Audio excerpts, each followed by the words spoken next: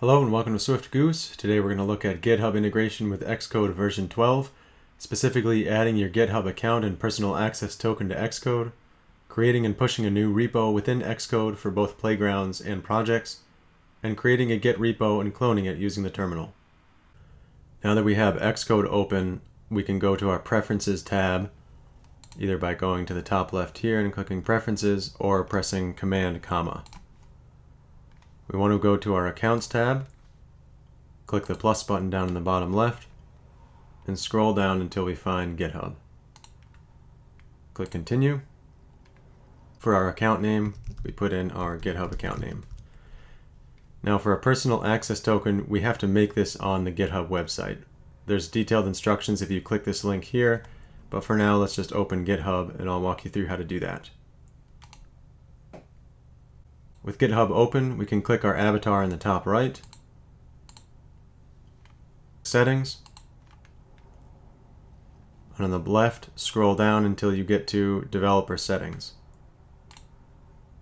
Personal Access Tokens, and Generate New Token. We'll call this one Xcode, and now below we have to select scopes that we want to define for this access token. We'll give it access to the repo, public key, notifications, user, delete repo, and that's it for now. So now we can click generate token, copy it to our clipboard, and GitHub is warning us that we won't be able to see this again. If you ever lose your access token, you can always delete it or revoke it and then generate new ones again. And minimize. Back here, paste in our access token and click sign in. Now our GitHub account is connected to Xcode and we're ready to start working with GitHub. Now let's look at how to create a new repository within Xcode for both playgrounds and projects. Let's start with a blank playground. We'll put it in Goose, and then we'll put it in Xcode projects and GitHub integration. We'll call this Cheese Hub.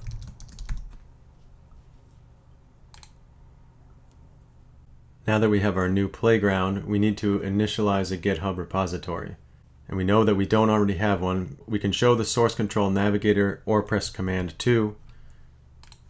Click on the gear in the bottom left and see that there's not really any options available for us for source control. And that's because we haven't initialized a GitHub repository for this playground, so Xcode has no way of knowing that this is going to be tied to source control. So to initialize our GitHub repository, let's open up a terminal session.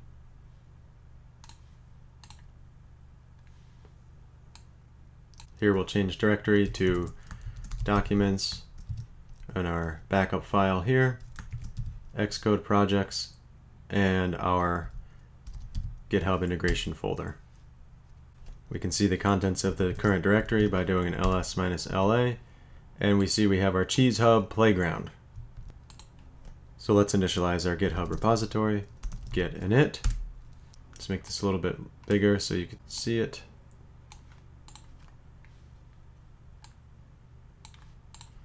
And now if we do an ls minus la again, we have our .git file. Now that we have our git file, let's minimize terminal and go back to our Xcode playground. Now here, if we click on the gear, we see that we still don't have our source control options available. We created our repo, but it must be a bug that Xcode doesn't actually know about it yet. So what we'll do is close our playground and then reopen it. And now you see we have our GitHub integration and we're on our main branch. If we click the gear in the bottom left, we now have our new options available for us. Before we create a new GitHub integration remote, let's just verify that we don't already have one on Git go back to our repositories. And you see we have Xcode tutorials and Swift basics, but there's no GitHub integration repo yet. So back in Xcode, let's click the gear again and do new GitHub integration remote so that way we can push our playground to GitHub. This looks fine. GitHub demo. Remote name, origin, that's fine too. Let's go ahead and create and you'll actually see that we get an error here. Reference refs heads master not found. Okay, well, let's click OK, and we'll go back to our Safari here and refresh the page. And we see we do have a GitHub integration repository now. This seems like another bug in Xcode, so if we click on our GitHub integration, it looks like it's a new repository and there's nothing actually in here yet. And you'll notice that if we go back to our Xcode here and try to create this again, we'll get an error saying the repository, basically the name already exists on this account. So let's click OK and we'll hit cancel. But we already know and saw that uh, we do have a repository here that we can start pushing code to. Let's go back to our playground. And just to make sure this actually works, let's click our source control tab in the top left here. Commit. Make sure that we commit our playground. And in the bottom left, let's put our first commit message and commit one file. Now we're ready to push. So let's go ahead and push our code.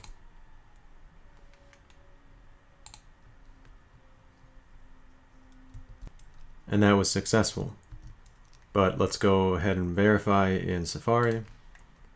Click Command R to refresh the page.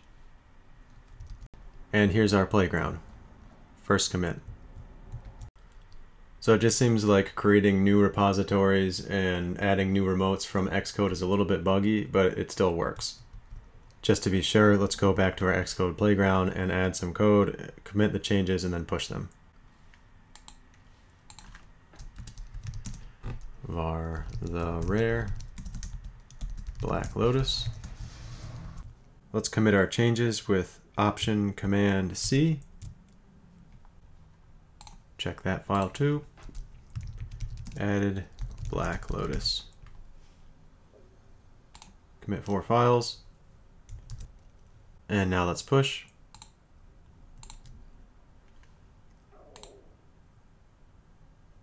Let's go back to Safari and refresh. And we have added Black Lotus.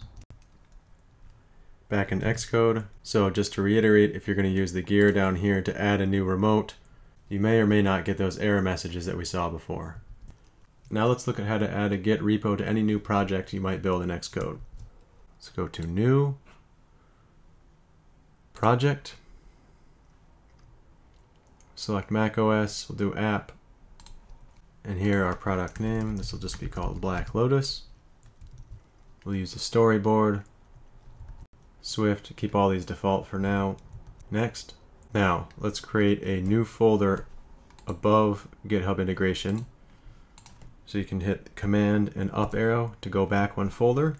Inside of our Xcode projects, we'll create a new folder here, and we'll call this Black Lotus Project. Create. And here, we want to make sure that this is selected. Create Git repository on my Mac.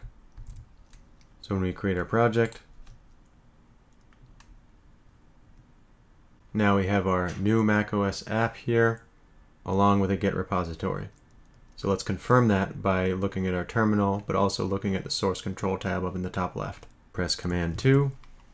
We can see that we have our main branch, and we have all of our source control options available.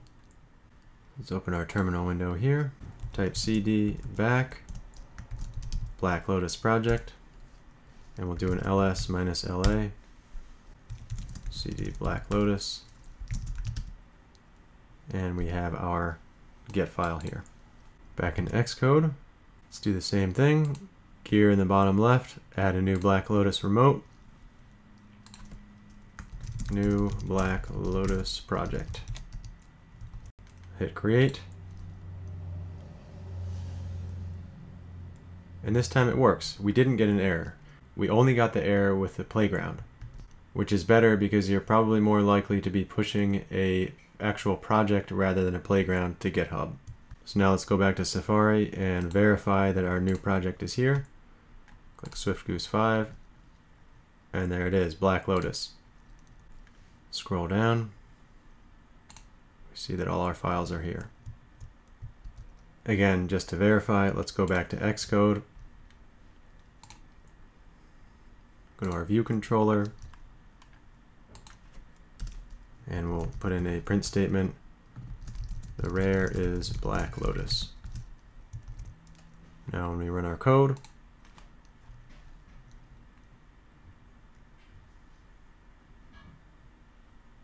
we see the rare is Black Lotus.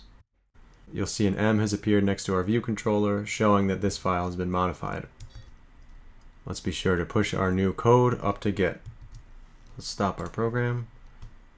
Option Command C to commit our changes. Added Black Lotus print statement. And we'll commit our one file. Go back up to source control and click push. Origin main, that's fine. And now let's verify in Safari. Back here, refresh our page, and we have added Black Lotus print statement. Let's go back to repositories, and finally, let's create a new repository here, and we'll call this one Cheesecoin. Since we plan on building out Cheesecoin in the future, let's create a repository. Scroll down. So we have a couple different options available for us for actually filling out a repository. Let's look at this first one here. Back in Xcode, let's create a new playground. So Shift Option Command N. Next. And we'll put this one in Documents,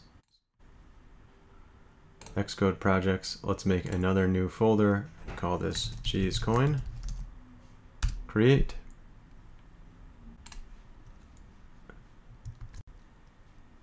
Apparently we misspelled our playground name, but that's okay. We'll worry about that some other time. Let's open up our terminal session and change back a couple directories. Back to our Xcode projects directory we do an ls, we see that we have our cheesecoin directory. Let's change directory to cheesecoin. ls again. We see we have our playground.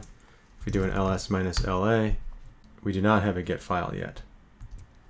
Let's open Safari back up to get the commands that we want. Let's start with git init. Git init.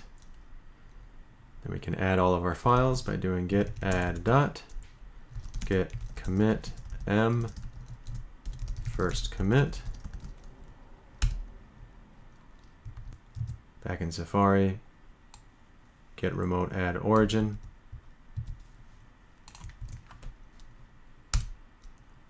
And then git push u origin main or master rather. Great. Back in Safari, refresh the page. And now we have our Cheesecoin repository filled with our first playground.